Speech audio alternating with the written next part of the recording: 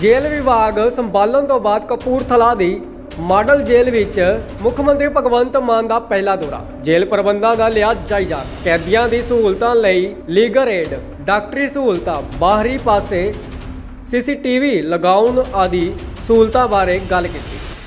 ਕਪੂਰਥਲਾ ਤੋਂ ਗੌਰਵ ਮੜੀਆ ਦੀ report, live Bharat. ਬਾਅਦ ਮੈਂ ਪਹਿਲੀ ਵਾਰ ਅੱਜ ਕਪੂਰਥਲਾ ਦੀ ਜੇਲ੍ਹ ਦਾ ਦੌਰਾ ਕੀਤਾ। ਪ੍ਰਸ਼ਾਸਨ ਨੂੰ ਮਿਲੇ ਹਾਂ। ਪ੍ਰਸ਼ਾਸਨ ਤੋਂ ਜੇਲ੍ਹ ਪ੍ਰਸ਼ਾਸਨ ਤੋਂ ਪੁੱਛਿਆ ਕਿ ਕੀ ਕੀ ਕਮੀਆਂ ਨੇ ਤੇ ਕੈਦੀਆਂ ਨਾਲ ਮੁਲਾਕਾਤਾਂ ਹੋਈ ਤੇ ਉਹਨਾਂ ਤੋਂ ਪੁੱਛਿਆ ਕਿ ਕਿ ਤੁਹਾਡੀਆਂ ਕੀ ਕੀ ਸਮੱਸਿਆਵਾਂ ਨੇ।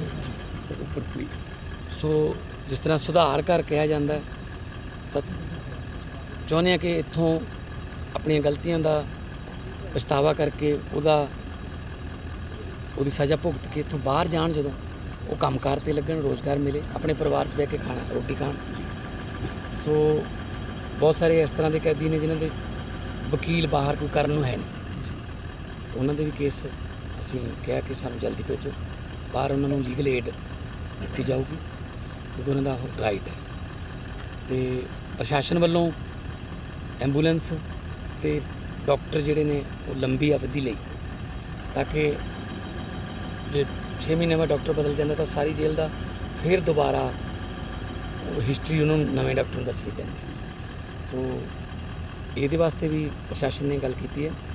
ਬਾਕੀ ਬਾਹਰਲੇ ਪਾਸੇ ਵੀ ਸੀਸੀਟੀਵੀ ਕੈਮਰਿਆਂ ਦਾ ਪ੍ਰਬੰਧ ਹੋਵੇ, ਤਾਂ ਕਿ ਜਿਹੜੀ ਥਰੋਇੰਗ ਹੁੰਦੀ ਹੈ, ਬਾਹਰੋਂ ਮੋਬਾਈਲ ਜਾਂ ਕੁਝ ਹੋਰ ਸੁੱਟ ਦਿੱਤਾ ਜਾਂਦਾ ਜੇਲ੍ਹਾਂ 'ਚ। ਤੇ ਉਹਦੇ ਵਾਸਤੇ ਵੀ ਅਸੀਂ ਪ੍ਰਬੰਧ ਕਰਾਂਗੇ। ਤੇ ਕੈਦੀਆਂ ਦੇ ਜਿਹੜੇ ਹੱਕ ਨੇ, ਜੋ ਕਾਨੂੰਨ ਤੇ ਮਾਨਯੋਗ ਅਦਾਲਤ ਨੇ ਉਹਨਾਂ ਨੂੰ ਵੀ ਪ੍ਰੋਟੈਕਟ ਕਰਨ ਔਰ ਮੈਂ ਕੈਦੀਆਂ ਨੂੰ ਵੀ ਸੰਬੋਧਨ ਕਰਕੇ ਆਇਆ, ਉਹਨਾਂ ਨੇ ਆਪਣੀਆਂ ਸਮੱਸਿਆਵਾਂ ਦੱਸੀਆਂ।